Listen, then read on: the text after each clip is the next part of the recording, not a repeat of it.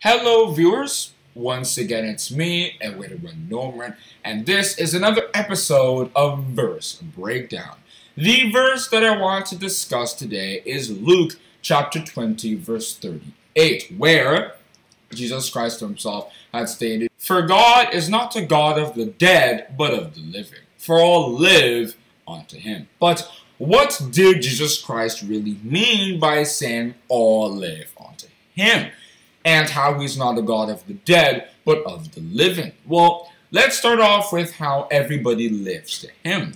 Just as how when a human being is sleeping, the person is unconscious in the sense that he doesn't really know what's going on, but of course you can just tap the person and then the person will wake up again.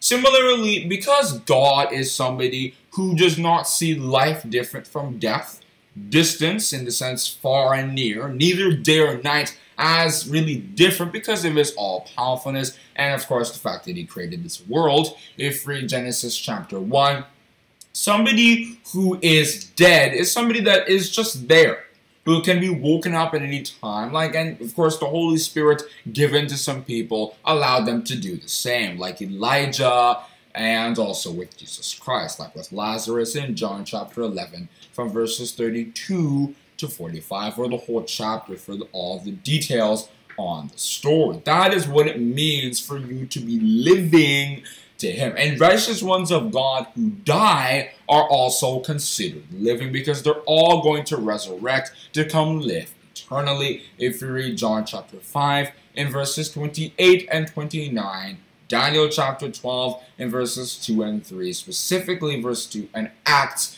chapter 24, verse 15. And then the other part of the verse talking about how God is not the God of the dead and the God of the living has to talk about the dead in another form. Anybody who does not know God is considered a dead man because he considers life as living eternally.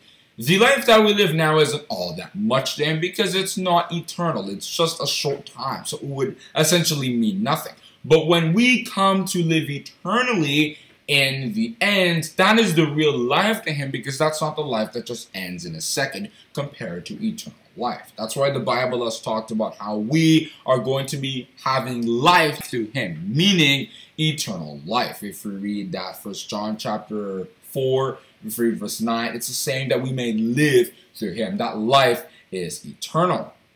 And not only that, but people who do not know God are considered dead. If read Proverbs chapter 21, verse 16, the man that wandereth out of the way of understanding shall remain in the congregation of the dead. And in Matthew chapter 8, verse 22, Jesus Christ had said, Let the dead bury the dead. Essentially, God sees them as walking corpses because you can only worship God when you know Him. You have to be aware of His principles, meditate on them before you can observe His commandments. If read Joshua chapter 1, verse 8. As a result, that verse means that we, once we come to know God, we are considered resurrected and we are now living through him. And so long as we stay righteous, whether we're dead or not, we're still living because God can still wake us up at any point. I hope this helps some of you viewers understand what Jesus Christ meant in Luke chapter 20, verse 38. Thank you for listening.